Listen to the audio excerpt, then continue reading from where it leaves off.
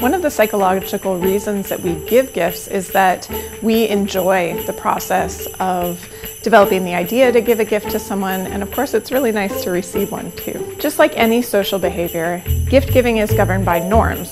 So these might be the norms of our culture or of a particular relationship. Research on material versus experiential gifts suggests that experiential gifts actually contribute more strongly to the relationship strength. So they may not be necessarily more liked, but it turns out that experiential gifts really draw a gift giver and a gift recipient together. Recipients of a gift often feel the emotion of gratitude, and in some ways, that's one of the rewards of giving a gift to someone. If a gift is overly extravagant or overly costly, what instead people feel is a sense of indebtedness.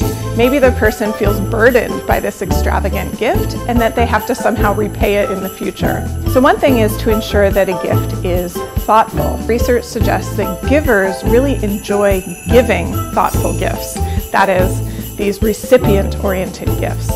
But there's an interesting twist here. It turns out recipients prefer to receive gifts that reflect the giver instead.